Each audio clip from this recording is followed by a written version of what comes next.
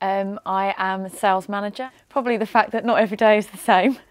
Um, you can write a beautifully written to-do list at the beginning of the day and not get any of it done. It'll be four o'clock and you wonder where you are, but you would have come against, up against people you probably would have never met or challenges that you wouldn't have ever have thought that you come across and you can overcome them and you can get a, a very good sense of satisfaction out of that. You get a chance to work with lots of different um, personalities and people um, and that's the best part about it I think.